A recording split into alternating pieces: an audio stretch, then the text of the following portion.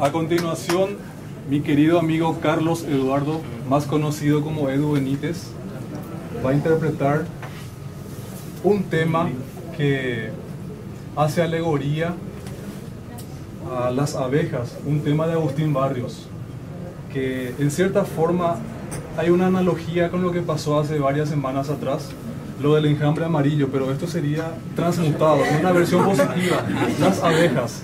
Edu Benítez.